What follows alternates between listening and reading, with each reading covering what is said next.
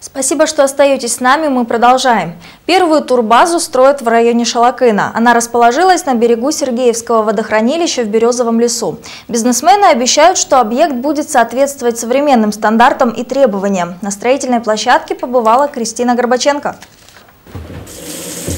Вот как бы горячая вода и холодная вода. Гостевые домики делают максимально комфортными. Они двухэтажные, на верхнем уровне две комнаты, на первом одна большая. Здесь установят барную стойку и телевизор. В каждой есть туалет и душ. Отопление электрическое. Дом сделан из бруса, сосна. Ну, как бы экологически чистый продукт. Где-то здесь около 85-90 квадратов. Там наверху две комнаты, двухспальные кровати, наверху для детей, чтобы ну, второй ярус есть в обеих комнатах.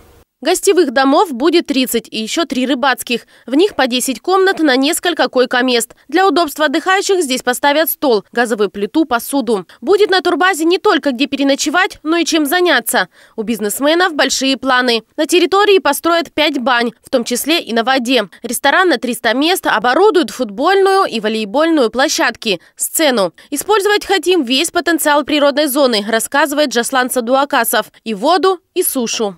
Планируется как бы при Казахстане чемпионат проводить здесь рыбацкий.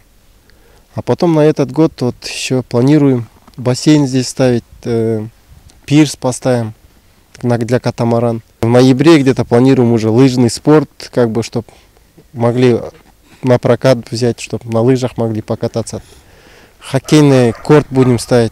Сейчас здесь работают 20 человек из Сергеевки и соседних сел.